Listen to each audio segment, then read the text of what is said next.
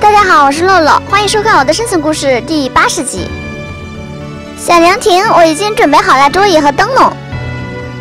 另外，我还准备了四个大箱子，那可是我忙活了好多天才收集到的宝贝。你知道我用动了多少剪刀和金斧子吗？嗯，不提了，说多了都是泪。你看，我还收集了这么这么这么多的羊毛呢。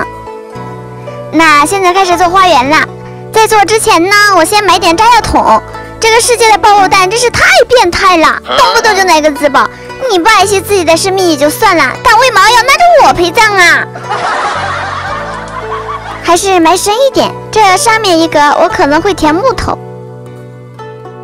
炸药桶埋好之后呢，就在这四块每一块确定一个中心点，开始造花园了。嘿嘿，没错，我准备用这些五颜六色的树叶代替鲜花，建一个不一样的花园。如果只是把这些树叶一排一排的放好，那它肯定不好看呐。所以呢，还得给它拼个形状啊什么的。我现在就给它做个简单的弧形，自中心点向下空一格，这里的五格呢就是圆弧的最高点，填上木头和星光包子，然后让这个弧形慢慢的向下。做成这样就可以填树叶了。先填果木树叶，填两排吧，绿色多一点好看一些。然后第三排填白杨木树叶，当然得先把这底下填上白杨木，要不然树叶会消失的。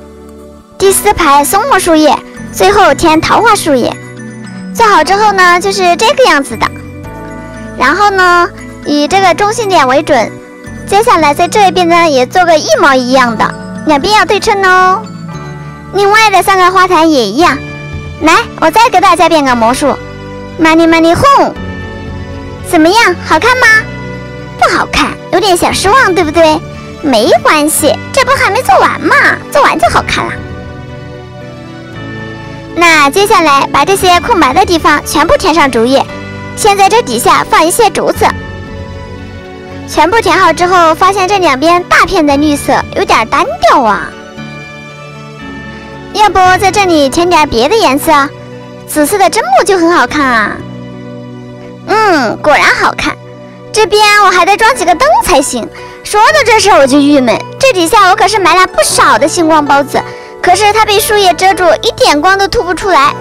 我的星光孢子呀，就这么白白的浪费了。这一头也填上这木树叶，这就是全部做好后的样子了。小伙伴们，你们喜欢吗？现在去做正面前面，照样先埋炸药桶，然后花的造型呢要不一样。你看，我真的做了朵花。嗯，不对，我在这前面一共做了八朵花，然后又在台阶下的弄两边放了十多棵圣诞树，两朵花之间也放上圣诞树，这样够亮了吧？然后其他的地方照样放上竹叶，最喜欢竹叶这种翠绿的颜色了。最后弄两边用果木树叶拦一下就好了。站在上面看一下吧，怎么样？还有点小清新呢，对吧？哎，这个盘龙柱感觉跟花园不怎么配呀。嗯，如果把四根柱子改成不同的颜色，会不会好看一些呢？试试吧。怎么样？有没有觉得好看一点？